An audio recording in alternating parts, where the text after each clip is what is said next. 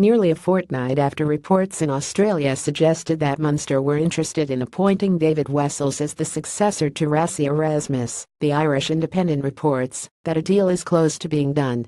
Wessels is a South African with close ties to Rassie Erasmus.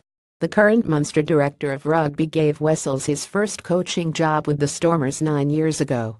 The 35-year-old Wessels was most recently the head coach of Australian side Western Force for the 2017 season until the downsizing of Super Rugby led to their removal from the competition.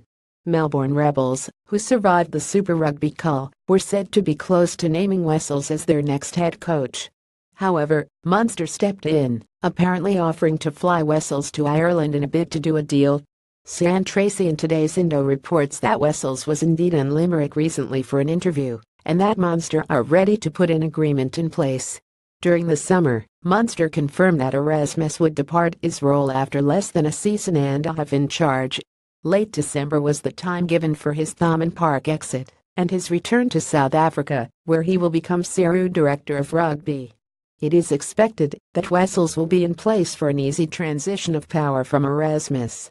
Watch Nigel Owens calls all 30 players in for a talking to during Glasgow vs Munster.